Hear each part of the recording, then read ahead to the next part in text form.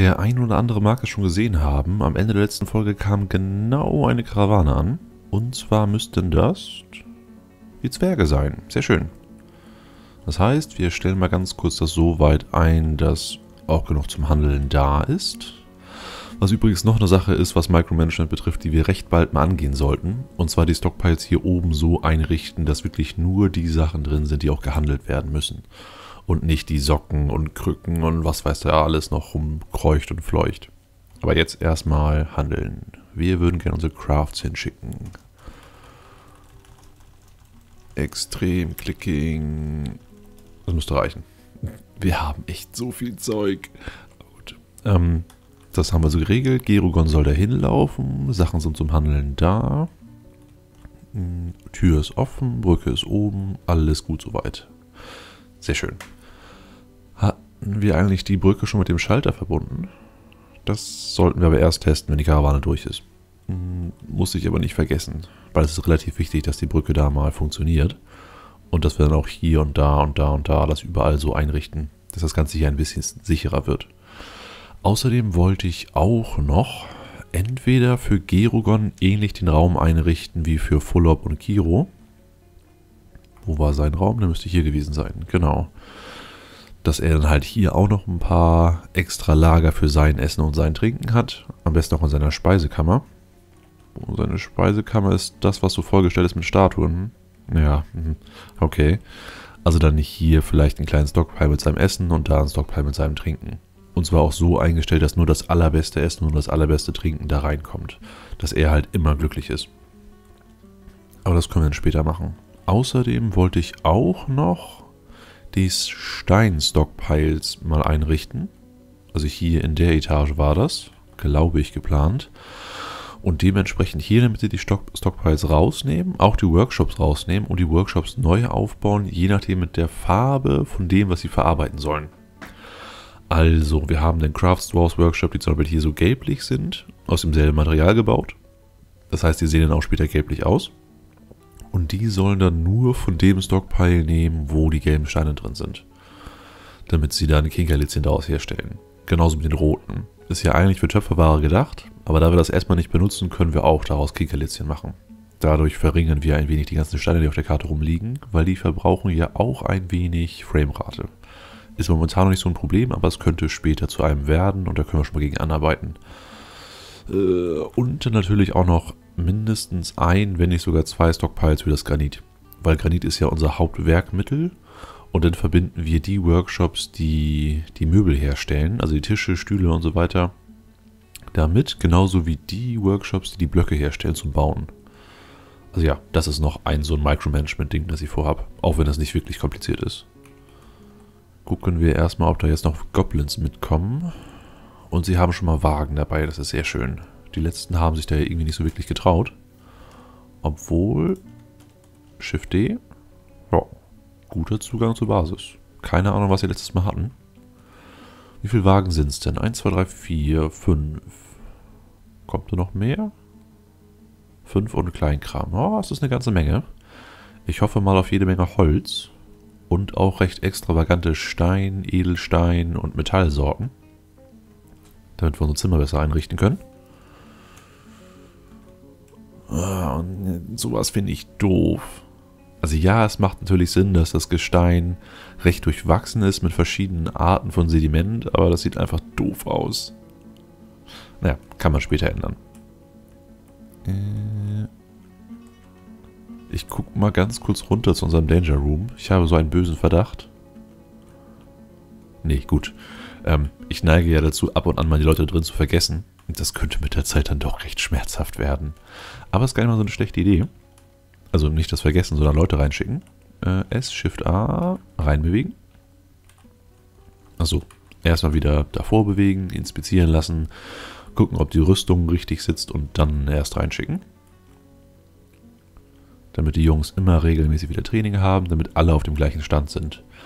Weil ich gehe davon aus, dass wir ein paar richtig gute Milizionäre momentan haben, aber auch ein paar, die nicht so gut sind. Und ich würde es gerne haben, dass die gleichmäßig gut sind. Nicht, dass dann wieder irgendjemand aus Versehen stirbt.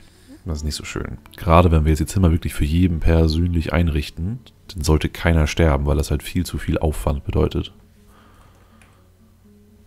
Und da ist immer noch ein toter, was auch immer. Was bist du? Ein Grodog Leier. Das ist ein Goblin, denke ich mal. Die Sachen werden alle mal geclaimed, auch die Leiche. Sonst stinker die da vor sich hin und das brauchen wir echt nicht. So, Karawanen erste sind angekommen. Gerogon lauert auch schon. Was können wir noch mal so kleinigkeitstechnisch zwischendurch machen? Wir könnten gucken, ob die Pilze gewachsen sind. Ein paar. Dafür sehe ich allerdings jede Menge Pflanzen, die wir abernten könnten. Also D, P, auf die unterste Etage, unten in die Ecke. Zack. Und die wachsen bei uns auch in den Wohnungen. Das sollten wir vielleicht auch mal machen. Also fangen wir einfach hier unten an mit dem Absammeln. So, von hier nach da, nach da und dann noch vier Etagen hoch. Da haben jetzt ein paar Jungs eine ganze Weile zu tun. Und wir kriegen jede Menge Früchte rein, um daraus was zu brauen. Hoffentlich dann auch die Früchte, die wir brauchen, um irgendjemandem eine Freude zu machen. Ah, hier werden bestimmt ganz viele Aufträge abgebrochen werden, weil irgendjemand darüber latscht. Ah, komischerweise bisher noch nicht. Okay, gucken wir uns dann später an. Und was haben wir für tausende von Fehlermeldungen? Ach so. Militär, Alarm, Inside-Befehl aufheben. Dann müssen wir nur kurz mal runter gucken, dass da nicht wieder irgendjemand hier hinläuft, genau. Weil da wartet schon wieder ein Troglodyt. Das heißt, wir machen einfach mal die Tür hier zu. LO. Und hoffen, dass kein Zwerg draußen war. Oh, was war das? Ein Snatcher. Wo bist du? Ah, du bist da unten in der Käfigfalle. Das ist doch schon mal sehr gut. Weiterlaufen lassen. Die Karawanen müssen noch irgendwann ankommen. Aber ich finde es komisch, dass die Snatcher in die Falle gegangen sind. Ich dachte eigentlich, dass die ähnlich wie die Goblin-Diebe das Attribut haben, dass sie nicht in Fallen laufen können. Hm, habe ich mich wohl geirrt. Und jetzt sagen sie schon wieder die Goblins oben. Ich guck mal ganz kurz. Äh ja, wir müssen auf jeden Fall bald wieder den Todesturm öffnen. Und dran denken, die vorher auszuplündern. Also ja, der Todesturm wäre... Oh, An ambush curse them. Und da ist ein Zwerg mittendrin. Wie, äh, wie kannst du die nicht vorher gesehen haben? Gucken wir, wer stirbt. Nee, ich will gucken, welcher. Meodai. Meodai, du wirst gleich sterben.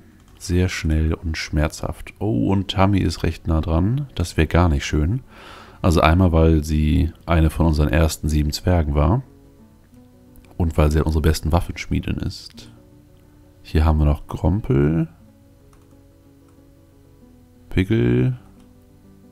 Und Sollen Victus. Okay, also die vier Jungs und Mädels könnten draufgehen. Er hier hinten auf jeden Fall. Das wäre echt komisch, wenn nicht. Ähm, okay, was machen wir jetzt? Wir machen erst mit dem Alarm an. So. Wir schicken unsere Jungs, die eigentlich unten schon angetreten sein dürften. Ich scroll mal hin. Wird schon wieder zu weit. Die eigentlich hätten angetreten sein müssen, aber noch nicht wirklich vollständig da sind. Hast du wenigstens eine Rüstung an. Ein Silber Warhammer. Plattenschuhe, Plattenschild, Plattenbeine, Plattenhelm, Plattenbrustplatte, Plattenhandschuhe. Ja, soweit so gut. Äh, keine, kein Trinkbehältnis. Ein Backpack fürs Essen, aber nichts fürs Trinken. Das ist komisch. Der Rest scheint auch gut ausgerüstet zu sein. Aber... Ah, doch das hier könnte irgendwas sein. Ich mach mal größer. Nö, das sind die Hosen. Die haben alle nichts für das Trinken. Da müssen wir gleich mal welche herstellen. So, erstmal wieder klein machen, wieder nach oben gehen. Äh, auf M.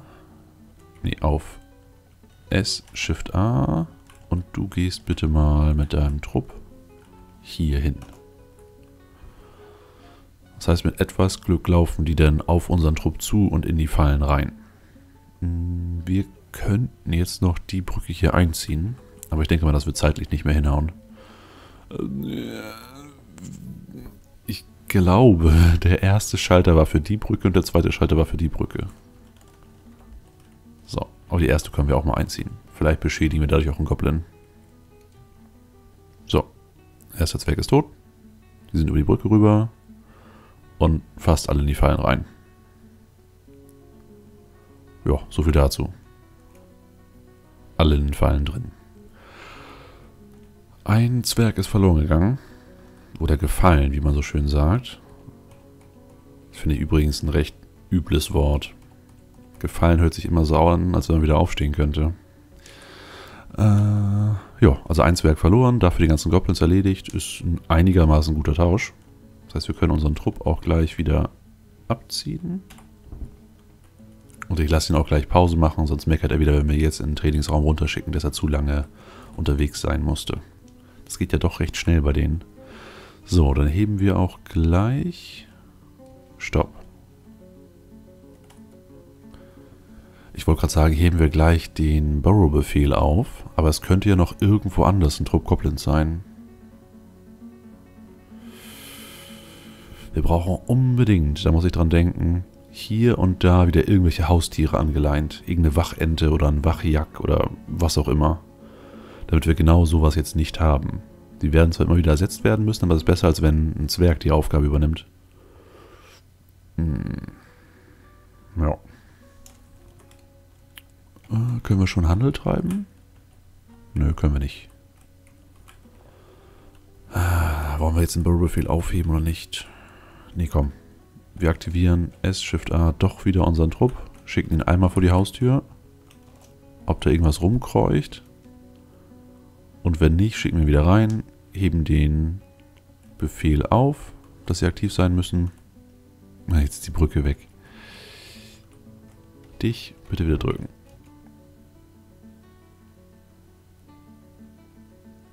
Also ja, wir schicken sie kurz raus, gucken, ob Goblins da sind. Wenn nicht, dann können wir den Burrow-Befehl aufheben und dann die ganzen Käfige und die Leiche hier möglichst schnell einsammeln, damit wir nicht schon wieder einen Geist bekommen. Warum machst du mal wieder Pause? Ach so, Snatcher. Äh, ja.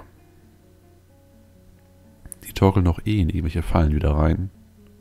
Wie viele Fallen haben wir denn ausgelöst? 2, 5, 8, 11 Stück.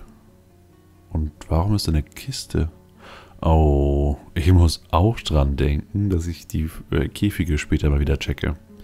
Nicht, dass da, irgendein Zwerg wieder drin hockt und wochenlang nicht rausgelassen wird, bis er irgendwann verhungert und zum Geist wird. Das äh, muss ja nicht sein. So, also anscheinend waren die Brücken wirklich so verbunden, wie ich das geplant hatte. Das ist schon mal sehr gut. Miliztrupp ist gleich draußen. Dann heben wir jetzt mit dem Burrow-Befehl auf. Dann können die Jungs nämlich drin die ganzen Sachen aufräumen, während der Trupp schon mal draußen steht. Da verschwenden wir nicht ganz so viel Zeit.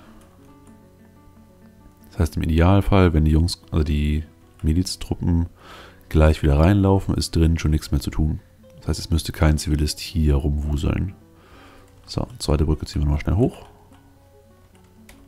So, Medai ist tot gefunden worden.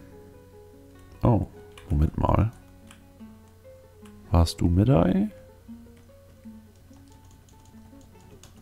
Sieht man jetzt nicht mehr.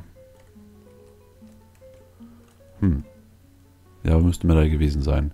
Ich hätte kurz gedacht, dass wir jetzt doch zwei verloren hätten, aber scheint wohl nicht so zu sein. Und warum läuft da ein Kind mitten bei den Leichen rum und über die Fallen und in den Miliztrupp? Das ist ein sehr aufgedrehtes Kind. Wie heißt du? Hast noch keinen Namen, okay. Der Miliztrupp läuft schon freiwillig wieder rein. Die werden wahrscheinlich irgendwelche Rationen holen müssen. Oder Trinkwasser, weil sie keine Beutel haben. Das kann ich auch noch mal ganz kurz machen. JM, wir hätten gerne Leather Water Skin. 30 Stück. Schon mal auf Vorrat für die anderen Miliztrupps. So. Ich hoffe mal, das Größte, Gröbste wurde jetzt schon abtransportiert. Wo läufst du hin? Stopp, stopp, stopp, stopp, stopp, stopp.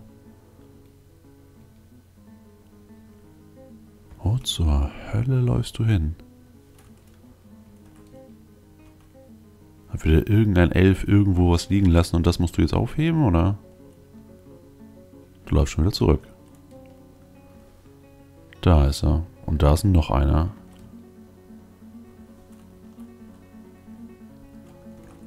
Was machst du hier draußen? Und das ist auch noch unser Koch. Der sollte eigentlich gar nichts draußen machen.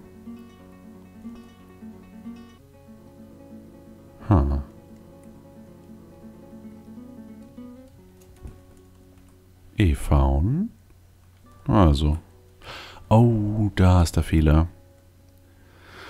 Ah, ich hatte doch den Befehl gegeben, dass sie die ganzen Büsche einsammeln sollen. Den haben sie jetzt hier draußen auch noch mitgenommen.